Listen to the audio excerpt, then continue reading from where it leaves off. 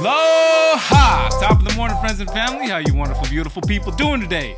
Not gonna waste any of your time. We're getting right into, uh, well, maybe I'll waste a little bit of it. we are busy this week, so if this is not the beautifully edited cinematic masterpiece you're used to, I it's just because I maybe didn't have enough time. The kids are at vacation Bible study every day this week. So that means I'm getting up early in the morning and I'm I'm volunteering there, so I'm there all the way till noon, which afterwards I bolt out of there so I can make it to the kids' swimming lessons afterwards. So it's just been a very, very busy week. Not much time for a whole lot else, especially when we got to take care of all the animals and you know all the usual responsibilities that happen when our whole entire morning and afternoon aren't taken up. So let's not waste any time because I've got two clutches I'm going to show you today. It's clutch 2206 and clutch 2207, and we're going to try our black light technique today on our ball pythons that are the leucistic species. The leucistic species. Oh my god, leucistic animals. Because, uh, well, this is the dad of the first clutch, and this is Mr. Pink. He is the very first ball python that we ever hashed out here at Triple B TV, so that one is super fun. Super stoked for him to have produced his first clutch here. He's beautiful, an Enchi lesser, possible het sunset. Also cool that mom is this Mojave cypress that was actually a gift from our buddy Miguel over at Always Evolving Pythons, um, however many years back. And of course, she is in full blown shed. And the exciting thing about this is, of course, we get to use the black light because one of the babies is a lesser Mojave, which is an all white, blue eyed leucistic snake. And I've always wanted to check out this black light on the ball python thing to see if we can see some pattern because I've always heard so much about it and I've never got to do it myself. So I'm excited. Let's go. they were ball pythons. the cool thing about these two snakes is, well, they're both normal males. And I don't know if that's necessarily the cool thing about them, but the cool thing about the fact that they're both normal males is this clutch has a nice progression of more and more genes working their way into the snakes as we move forward from snakes one and two here to snakes three, four, five, and six. So these are both uh, normal possible het sunset males.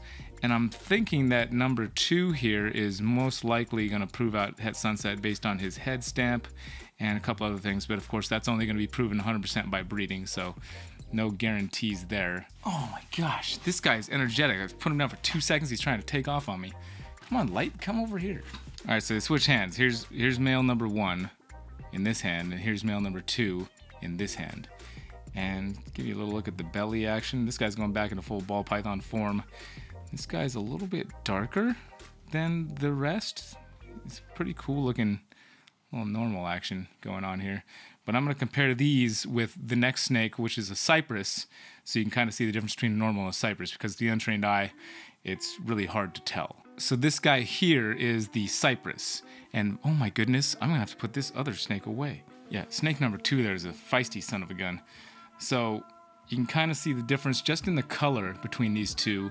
The normal is a bit darker in the tan parts of his body. The, the goldish parts of his body are not nearly as bright as the golden parts on the cypress. You can see on the sides here, this guy's alien heads are there and being very alien head-ish. It's like, those are true alien heads. You can just see them looking at you like coming from outer space. Whereas the alien heads on the Cypress are not looking as alien head-ish. They are alien head-like, but they're kind of going a little bit more straight up and down tower action. I've heard Billy refer to these towers, and that's kind of how I see them now too. Now that he said that, you can see on this side too. Just kind of a little bit more straight up and down, and just a, a different looking alien head on the side. Not again, not as alien head-ish. See if I can stack these guys. The problem with trying to show living art is that it's alive. and that means it's constantly in motion. There, there's a nice top bottom side by side shot. So the normal guy is on top and the cypress is on bottom. Uh, and now they're kind of twisting around and making me look like a liar. Anyway, there they are, both beautiful examples of ball pythons uh, with my cypress over here and the normal over here. Capiche? Capuche. Now it would have been really cool to get just a straight Mojave next so we can show you the difference between Mojave and Enchi Mojave or even to get a lesser and a Mojave. We didn't, however, so the next two snakes we did get are both females. This one here in my hand is an Enchi Mojave and you can tell The Mojave look, if you know what a Mojave looks like, they got a bit more of these singular keyholes that pop up inside of the alien head, making it a keyhole instead of an alien head, you could say.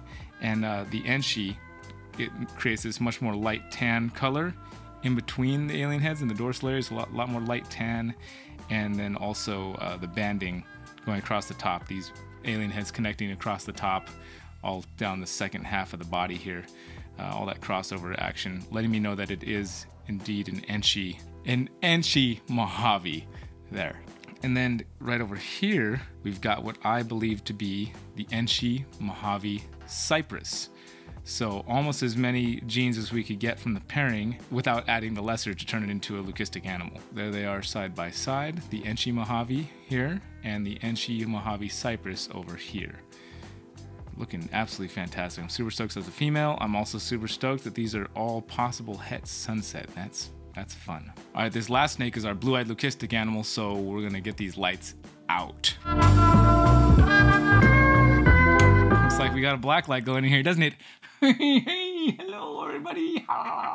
Here we go. Look at that snake glowing, glowing in that black light. Absolutely incredible. Incredible glowing action. Minus the one factor, which is I'm not seeing any pattern whatsoever. So this snake is a lesser Mojave, possible het sunset, and also also also possible het, not possible. Goodness gracious, let's start at the top. This snake is a lesser Mojave, possible het sunset, possible Enchi, possible Cypress. Now the one issue that I'm having here right now is I see that the snake is glowing and purple and wonderfully nice like that and, and definitely glowing just like my shirt. But I'm not seeing a lick of pattern on this snake, not in the least. So that tells me one of two things. A, my black light sucks, or B, I this snake has no pattern to tell the story. Do I need a better black light? I don't know. I just got the only black light they had at the hardware store, and maybe that is not good enough. Kind of a bummer. I was kind of hoping to see some pattern on this snake here with this black light, but I see, I see nothing. No, I want to see some pattern. I put the snake really close to the black light, and it didn't help. I, I don't know. That's a bummer because I was really excited to show black light pattern on there, and I'm, I'm think I don't know if my eyes are playing tricks on me, and I'm just seeing this like, ooh, look, there it is. But I just might be like wishfully glancing or gazing. So let's move on to the next clutch. All right, before we move officially on to the next clutch, I just want to give you guys an update on the. Oh my goodness, I want to give you guys an update on that maternal clutch that we had that we showed this Wednesday. Uh, she's got three of the babies hatched out one of the last three eggs is pipped and two more eggs still yet to pip. So the interesting thing is those eggs were sitting a little further off the hot spot, but the third egg that was also off the hot spot did pip a little bit. So we should have a, a full healthy clutch coming out of that thing pretty quick. So I'm pretty excited about that. And it was a fun little experiment. It worked out. We might, we'll probably do more of that going forward.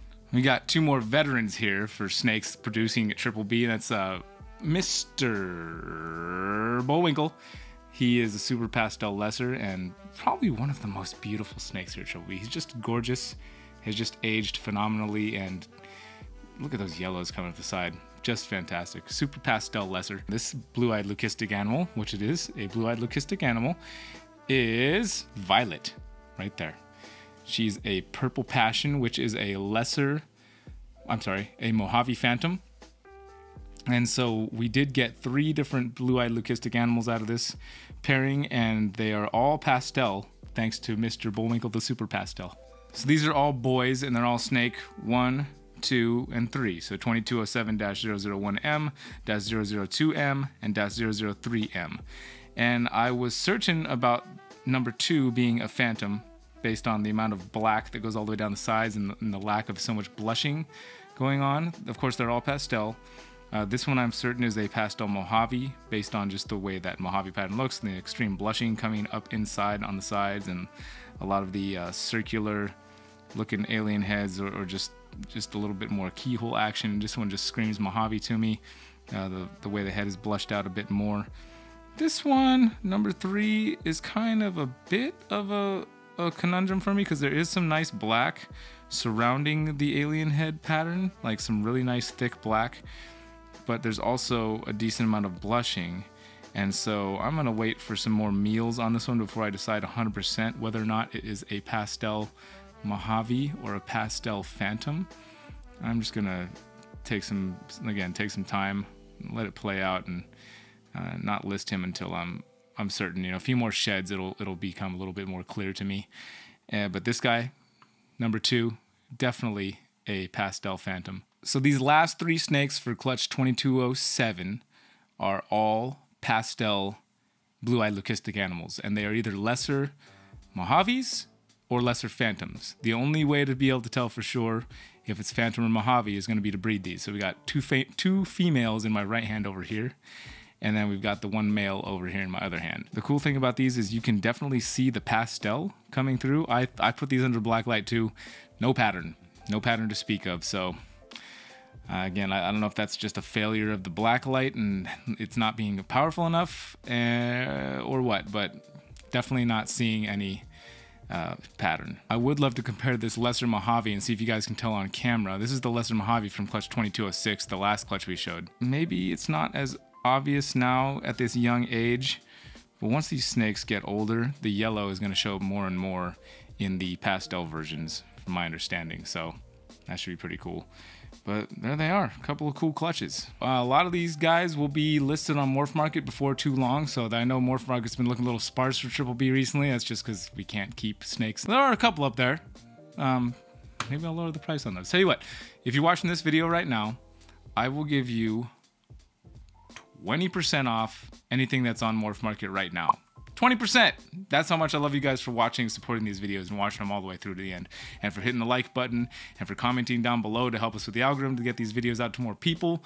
Really appreciate you guys doing that. We're going to be doing some feeding this coming up, uh, Kusko Uncut coming here. And before we get out of here, I wanted to share the verse that I shared with the kids at VBS this morning because if you guys are tired, if you guys are feeling it, like and you're just going through it like we have all week, just long and long days and hot and just plowing ahead with all the kiddos and stuff. This is a this is a verse that I find is very helpful for those that are feeling tired, worn out, and like they just are at their wits' end. It's a good one. Isaiah 40, 29 to 31. He gives strength to the weary and increases the power of the weak. Even the youths grow tired and weary, and young men stumble and fall. But those who hope in the Lord will renew their strength. They will soar on the wings like eagles. They will run and not grow weary. They will walk and not be faint. And with that, I bid you adieu. Thank you for watching the video again. You guys take care of yourselves, take care of each other, and we'll see you on the next video. Aloha. And that last girl was covered in cocoa debris. Shapa, Shaka Khan. Shaka Khan, Shaka Khan, Shaka Khan, Shaka Khan, Shaka Khan, Shaka Khan, Shaka Khan. Shaka Shaka Shaka Shaka Khan, Shaka Khan, Shaka Khan, Shaka Khan, Khan, Khan. Shaka Shaka Shaka Shaka Khan, Shaka Khan, Shaka Khan, Shaka. Oops.